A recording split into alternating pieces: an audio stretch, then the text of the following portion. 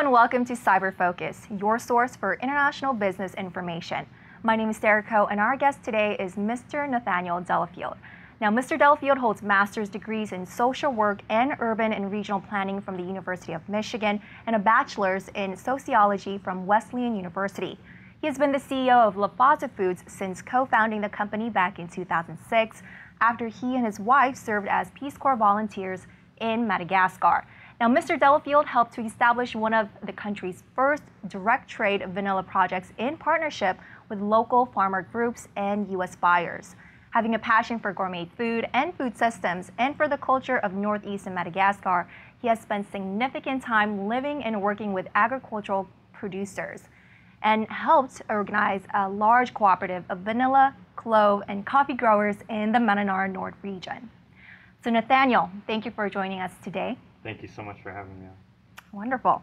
So tell us a little bit about you and your company, Lafaza Foods. I mean, how did you choose to go the fair trade organic certified business route? Sure. Well, first of all, um, as you as you said in your introduction, we were in Madagascar already in some very rural communities um, as Peace Corps volunteers. We had decided to go and have that experience um, after working in the U.S. for a number of years, and it was um, something that was very eye-opening for us. But we really saw a a need for um, a different approach to both supply chains um, within the spices industry, particularly with uh, vanilla in Madagascar, but also a need to refocus it on sort of a value chain perspective, something where we were taking the farmer perspective first. When we entered the community as volunteers, we were challenged by a number of groups in the community immediately to start coming up with a different business model and trade model um, that would really help put these communities in a different spot along the value chain. So we saw both a, a need and an opportunity, and also we had a very direct interest as volunteers in the community to both meeting the needs there and, and expressing some of our own interests, which for me has always been um, very focused on community systems, community empowerment, uh, poverty alleviation, and um, a number of other um, sort of organizational development focuses that I've had. So personally, for me, it was a, it was a great fit, and I got excited about that um, right away, and we began working on it um, from the very beginning. So we've um, progressed it from that point, and it's always been a partnership with communities in Madagascar from the very beginning. Well, it definitely sounds like Lafaza Foods um, has very effective working relationships with the local producers and growers there. So, how are you able to, and the company as well, really try to establish them?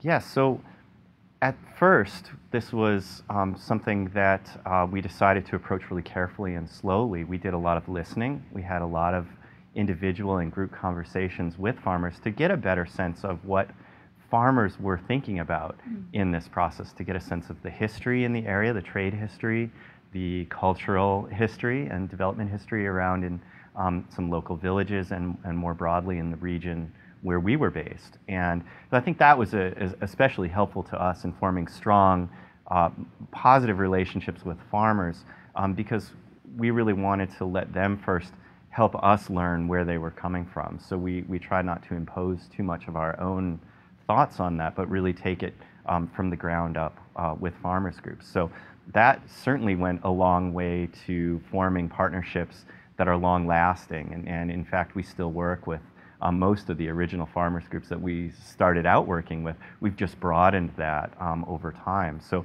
within um, those initial conversations, we also saw the seeds for um, both a model that would work well um, for trade and also a, a, good division of roles within, um, within that partnership with farmers. So that was also exciting. Where do we bring value as opposed to where's the value already there?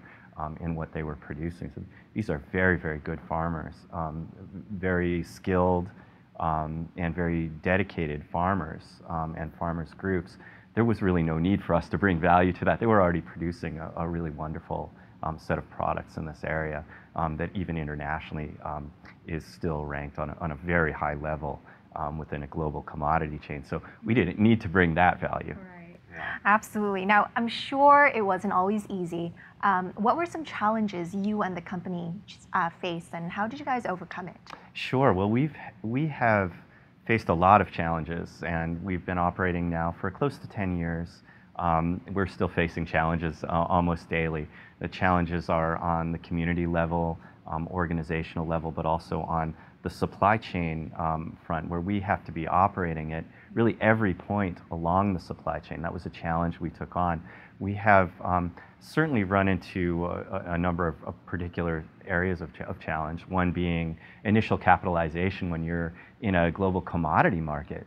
Um, most of the players in markets like that are quite large, very, very well capitalized. Many in the um, spices industry, especially with vanilla, are um, players that have been in that market for a very, very long time, decades, if not uh, over 100 years. So there was a challenge to forming partnerships and really shoring up support for what we were doing um, when we didn't have enough of that type of either, either political capital um, uh, or financial capital. So we've formed a lot of partnerships to get past that um, to help us grow and, and really um, amplify some of what we were working on. Um, we also saw a lot of political challenges. So in Madagascar in 2000, late 2008, early 2009, there was a coup in Madagascar, uh, threw the entire country into political turmoil. And uh, for quite a while, and, and, only up until very recently, um, the political uh, structure in Madagascar was not internationally recognized. So we saw a lot of the investment uh, disappear almost overnight. Um, most of the grant funding and NGO funding uh, disappeared, and many of the groups just left. And so that, that posed a, a, very large challenge for us. We had to wait it through. We had to take on some, some different approaches to our work. Um, but now we're seeing it come back. So some of the way we overcome challenges with patience and um, being careful not to make too many mistakes as we go. Well, having done business there for nearly a decade now, in your opinion, how is the overall environment looking like in Madagascar for existing and maybe even potential uh, local and international entrepreneurs? I think that Madagascar is a very exciting place to be working now. Um, it has overcome this political uh, crisis that it went through. Um, and it's a country that's very dedicated, I think, to improvement, um, both socially and economically in the country. So there's lots of opportunities in Madagascar. It's also a very unique place. So um, many of the, let's say, uh, plants and animals, for, example, about 80% of them are endemic to Madagascar. So you have a, a, very large environmental component to everything. There are very high quality um, products that come out of Madagascar, particularly in the spices category, but in other categories as well. There's a lot of mining. Um, there's, there's quite a lot of exciting places to get involved from a business perspective or from a development perspective. I'm especially excited in Madagascar, the intersection between the two of them. And I think that's where um, there's particularly particular uh, opportunity in Madagascar to be to be working, either if you're already there working or somebody looking at Madagascar as a country to get involved in. Um, I'd say the opportunities are, are really endless right now. Wonderful. Now, finally, could you share with us maybe some very important takeaway points or even advice for doing business in Madagascar and as a fair trade businessman yourself? Yes. Um, it's always hard to give advice because uh, sometimes I don't even take my own advice. Um, but I, would say when working on, on fair trade, it's, as we talked about at the beginning, it's very important to do a lot of listening. I think it's easy to come in thinking you have the answers, and it's much more effective to come in uh, or, or at each stage of, of uh, effective work in fair trade, especially in Madagascar or developing countries, to assume you don't have the answers. And I think that's very important. It's an uncomfortable perspective, and you have to get um, comfortable with being uncomfortable, out of your comfort zone, um, but doing a lot of listening. I think this is um, especially important. Um, also have to really understand where you work. We spend a lot of time in Madagascar learning cultural skills. And as trade systems become both more globalized but also much more complicated at the intersection between global and local, um, it's very important, in our minds, it's very important to really have the cultural skills along with the trade and business skills to work effectively. And I think sometimes that doesn't get enough focus. And it's starting to get more attention, I think, um, from a, a training practitioner standpoint, maybe an education standpoint. I think it's very, very important for anybody getting involved in this field to take that very seriously. We're not yet good enough at it, but we do work at it every day and, and every year to, to really improve. Wonderful. Well, are there any last remarks you would like to add? in thinking about takeaway points, one of the things that's very exciting right now for those interested in social ventures, something that's both um, maybe business uh, or entrepreneurial in nature, but also really with an impact focus, um, whether it's social or environmental impacts, is the real groundswell right now globally and, and certainly here in the US around impact investment capital um, or sometimes called philanthropy um, investing.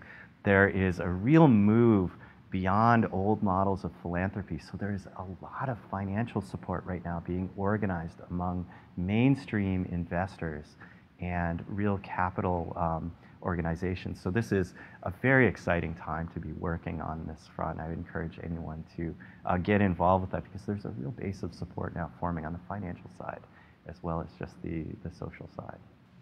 Uh, Nathaniel, thank you so much for coming in to speak with us today. Thank you so much for having me here. I appreciate that. Well, that's all for this edition of CIBER Focus. Thank you for joining us. Now, if you have any comments or suggestions for future topics, please contact us at cyber, that's C-I-B-E-R, at indiana.edu.